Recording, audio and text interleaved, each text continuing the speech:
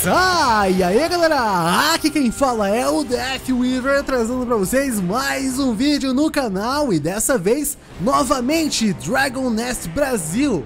Pois é, se você não conhece esse jogo, ele é um MMORPG totalmente em português brasileiro que foi lançado agora em dezembro, meu amigo.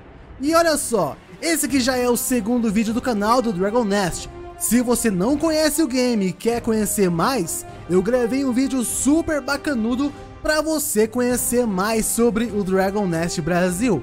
Eu vou deixar aqui embaixo na descrição do vídeo e também no comentário fixado, beleza? Então clica lá para você conhecer melhor o jogo. E se você quer aí começar a jogar também, eu vou deixar aqui embaixo na descrição e no comentário fixado o linkzinho para você baixar e começar a jogar agora o Dragon Nest Brasil, beleza? No vídeo de hoje a gente vai pegar e a gente vai criar um personagem aqui no jogo. Então, chega de enrolação e vamos logo pro vídeo. Então vamos lá, caras, criação de personagem. A gente tem aqui o guerreiro, né, esse garotão com a Broadsword. E inclusive, caras, nesse jogo você pode ter vários tipos de armas e as armas mudam aí o combo que você dá, é bem legal. Tem a arqueira também, né, com arco e flecha e tal. A feiticeira é quase como uma, uma maga, né, velho? Temos o clérigo, que é aí o nosso paladino barra padre, né? A acadêmica, essa daqui, que lembra bastante uma engenheira, né? Ela pode virar uma engenheira depois, inclusive. E temos a Kali. Essa aqui que é uma, uma classe bem diferente, bem original, né, mano? Mas a gente vai de feiticeira, porque eu tô louco pra ver como é que é a classe dos mages nesse jogo. E uma curiosidade, você começa como feiticeira, depois você pode evoluir para tanto maga elemental quanto mística. Se você for maga elemental, você pode evoluir para pyromante e depois para glaciana. Agora, se você for mística, você evolui depois para maga da guerra e depois posteriormente para maga do caos. A gente vai criar uma feiticeira para evoluir para pyromante, é óbvio, né? Vamos criar aqui bonitinho. A seleção aqui de personagens, gestos e tal, aparência atual. Vamos botar a cabeça, vamos modificar o corte de cabelo. Tem vários. Ó, gostei disso aqui. Uh, cor de cabelo, vamos botar esse azulzinho aqui. Esse, ou esse roxo. Esse azulzinho. Rosto. Rosto não muda muita coisa, né? Mas vamos deixar assim, ó, com os olhão gigante. E legal, aqui é a cor da pele, o mundo. Aqui é a parte de cima, né? Você pode pintar o. o a, atingir a roupa do personagem, né? Vamos deixar desse jeito aqui. Luvinha também aqui, ó. E ficou legal desse jeito, caras. E tamo aqui no joguinho já, olha só. Parece que a classe dos magos, né, ele começa num lugar diferenciado. Eu lembro que quando eu criei, meu primeiro personagem foi um guerreiro, foi um, um, um warrior, né? Era num lugar completamente diferente, cara. E olha só, já começa com três magias ali. Vamos ver quais são as magias? As magias são explosão de fogo, né, um dano mágico de fogo, recarga de 7 segundos. O segundo dano é um cajado giratório, também 7 segundos de cooldown. Terceiro, espinho glacial. Como é que é isso aqui? Ah, legal. Deixa eu pegar esses cobras no chão aqui. Nice. Olha que legal, cara. Olha que da hora. Mano, pro Warrior, eu lembro que ele tava uma cambalhota, né? Pra... Pra engenheira, ela usava, tipo, os mecanismos dela e começava a fazer um helicópterozinho em cima da cabeça dela. Ela começava a voar. Pra maga, ó como ela, como ela corre, cara. Ela, tipo, teleporta. Muito legal, velho. Muito da hora. Vamos falar com esse cara aqui. Eu acho que ele tá morto, né? Mas, enfim, vamos lá. Uh, ele não parece estar consciente. Ele precisa ser levado pra vida urgentemente. É, percebemos, né, filhão? Siga a seta. Ih, olha lá, ó. Levar ele pra vila e tal. Pelo que eu tava vendo, cara, o level máximo do Dragon Nest Brasil é 95. E o jogo não é fácil de você upar não, tá? O jogo você vai evoluindo e não é aquele joguinho tranquilinho, mole mole pra você upar. Você vai ter que aí, né, jogar bastante do jogo, aproveitar bastante do jogo pra você conseguir de fato é, chegar no level máximo, beleza? Ó, tamo em dezembro, né, Natal. A cidade tá toda enfeitada, cara, olha que bonitinho. A baita de uma árvore de Natal lá.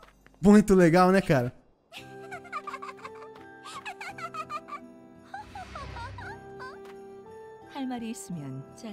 Uh, se você tem algo a dizer, fale logo e desapareça. Quest. A pródiga retorna. Continuar? Continuar? Sim. é, muita coisa pra ler, velho. Nosso vídeo não é tão longo assim, não. Não é uma live. Ok. Siga a seta. A seta diz que pra ir pra, ir pra lá. Aqui você pode, inclusive, colocar na tua barra de ação. Tá vendo que a barra de ação tá em 1 e 2, ali tem uma coisinha rosa? Então, ali é, são os emotes. No caso 1, ela dá essa risadinha aqui, né? Esse 2, ela dá um aceninho. É, você pode colocar outras coisas ali depois, tá? Se por acaso você apertar Tab, ela vai puxar a arma, né? Perceba que, inclusive, até a câmera começa a seguir o personagem. E as 1, 2 e 3 ali viraram, viraram habilidades de ataque. Aí, se liga. Esse jogo aqui, ele não é exatamente um open world. Então, você vai constantemente se deparar com situações assim, onde você vai entrar num lugar instanciado para você fazer algum tipo de conteúdo, né? No caso, uma micro dungeon. No caso aqui, a gente vai fazer o vale congelante no modo normal, beleza? Vamos lá. Vale congelante. E aqui é como é instanciado, só tem eu aqui dentro. Olha os bichinhos lá.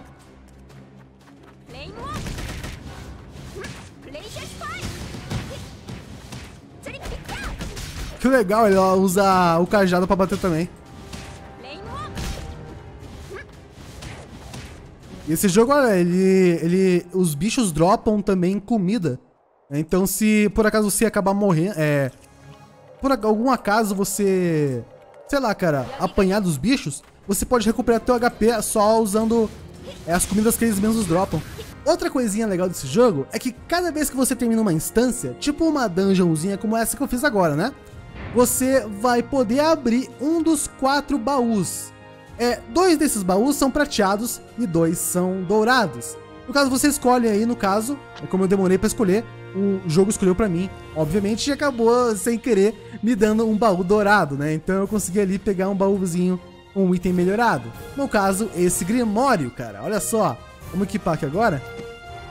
E vai automaticamente melhorar minha, o meu dano como mage, né? Outra coisinha é também esses baúzinhos de recompensa. Você pode, no caso, abrir esses baúzinhos. Quer ver? Ó, você tem certeza? Sim. E você ganha alguns itenzinhos ali pra você, né? Ajudam você a upar o teu personagem, no caso, né? Aqui, poção de ganho rápido de HP dos sonhos, que fica aí por 7 dias com você.